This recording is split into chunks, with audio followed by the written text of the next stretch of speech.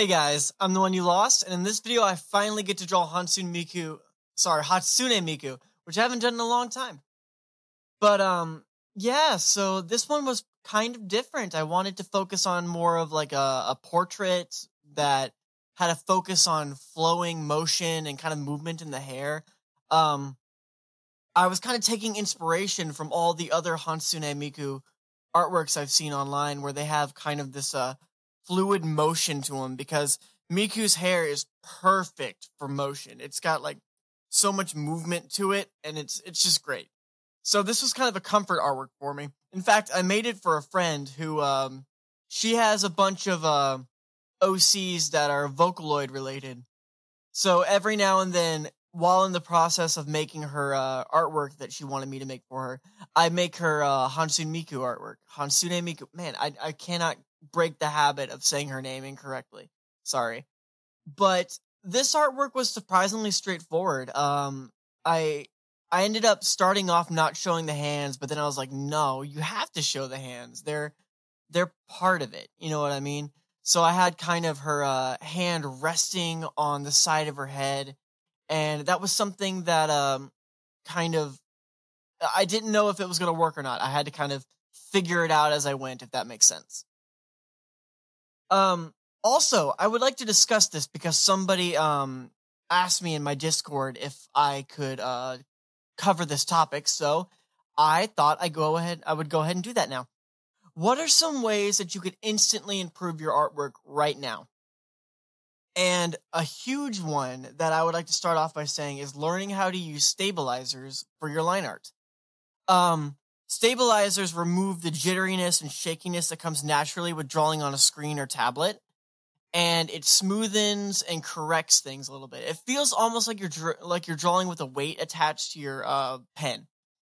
And I know that may sound weird, but once you get used to it, your lines will be so much clean, so much better. Also, another thing to keep in mind, um, if you want instant improvement with your artwork, is to learn how to pick more. Uh, you like if you want my colors for example you want to go with more of the muted but saturated uh, middle ground if you take a if you pay close attention to the colors i'm picking in this artwork you'll notice that they they land somewhere in the middle on the very top of saturation then once i add um, a multiply layer on top i usually go down and to the right and that is to add more saturation to the darker part while also keeping in line with what I'm originally working on. The color wheel, the more you look at my artwork and study it, the more you'll notice that I do the same things many times. Every artist has their own way that they approach the color wheel, and that is totally normal. Um, so, a big thing that can help you very, very fast is just to learn not to um, just move straight to the right for darker colors. Learn to go down and to the right. That'll actually instantly improve your colors.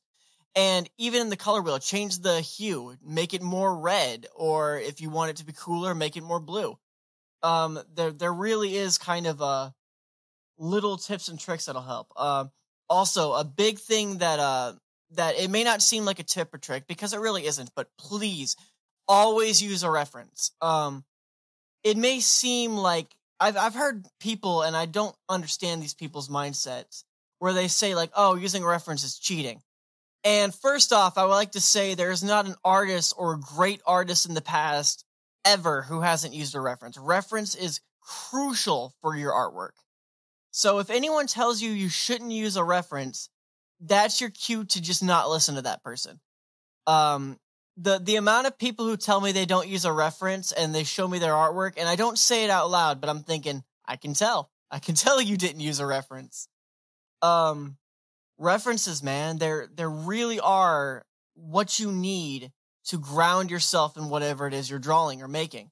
Um I sometimes will make a mood board before I finish uh before I start my artwork. Kind of different uh ideas like say I like the lighting on this one, but I don't want to draw the character but I like the pose over here. How can I transfer the lighting to this pose?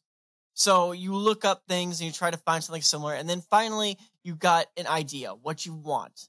And that is a huge recommendation to me. Um, to be quite honest, there aren't very many tips and tricks that'll instantly improve your artwork like right now. Um, uh, those are pretty much all I could really think of.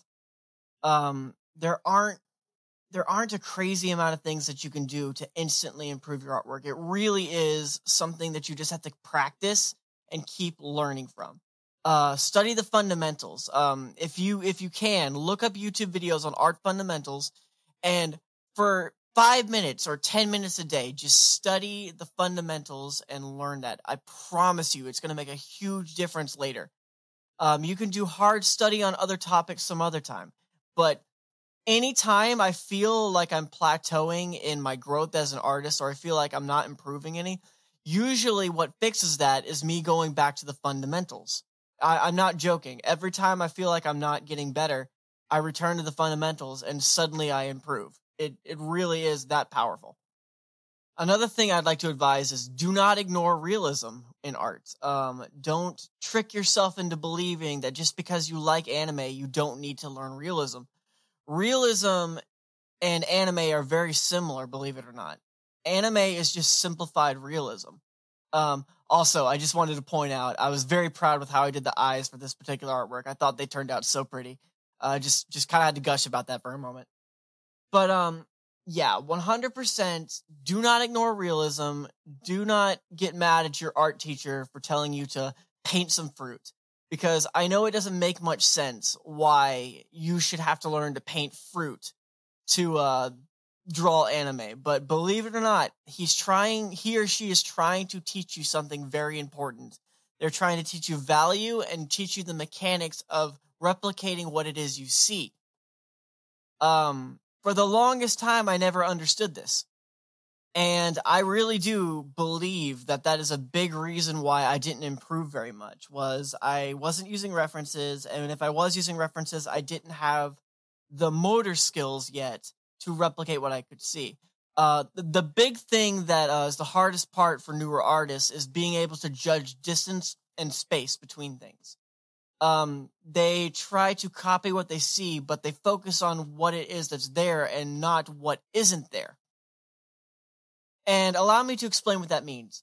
The best way to find out if you are close to what it is you're trying to replicate is to look at the negative space between things. If your gap between one thing and the other thing is bigger than what you're referencing, it means you've done it wrong. So instead of focusing on copying what you see, try matching the spaces between where nothing exists. And you'll find that that corrects things for you.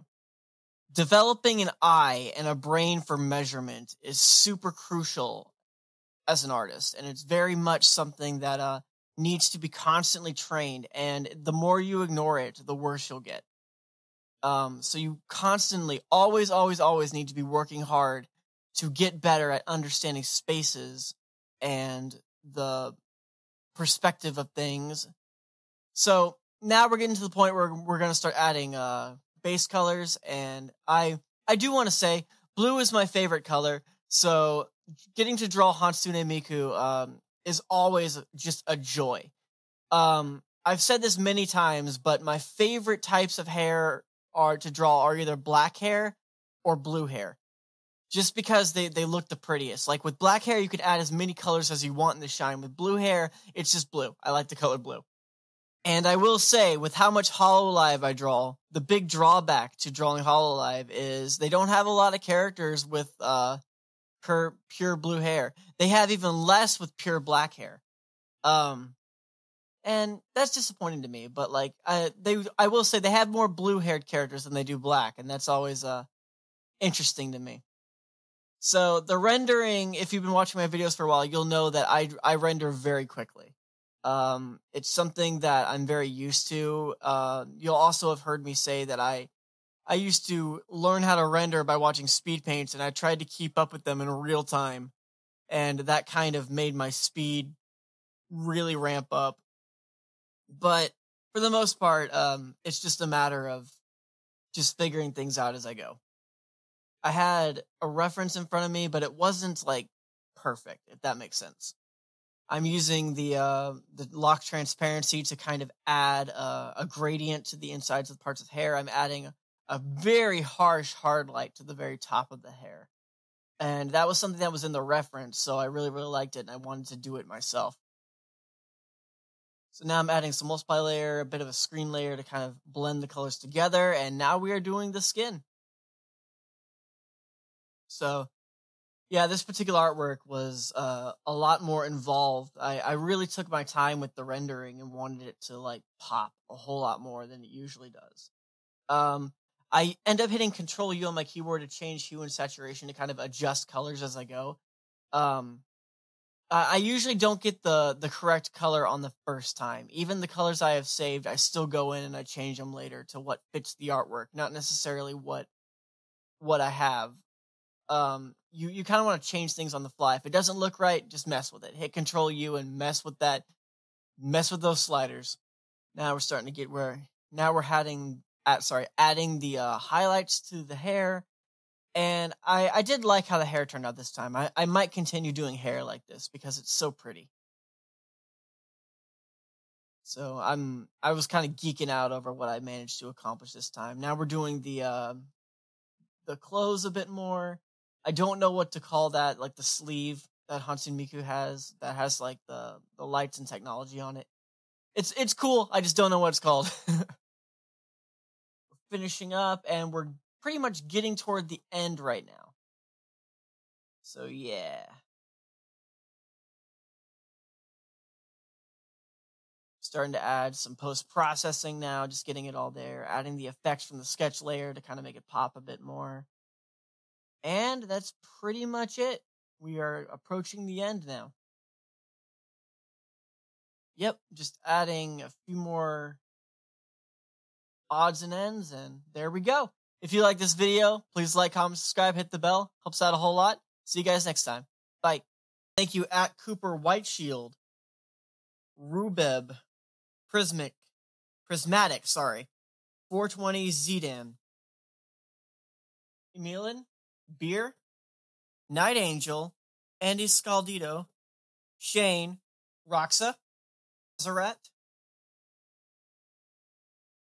Dalton Lilly, Feiner T. Hager, Tomps Double O, Zip, Matthew C., and Dallas Long.